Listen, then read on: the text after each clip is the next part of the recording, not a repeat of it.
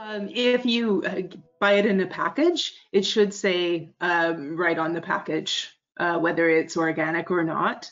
There are uh, organic certifying bodies, so um, anything that that says that it's organic should have one of these um, uh, organic body signatures on it. So um, the OCIA is is one of them.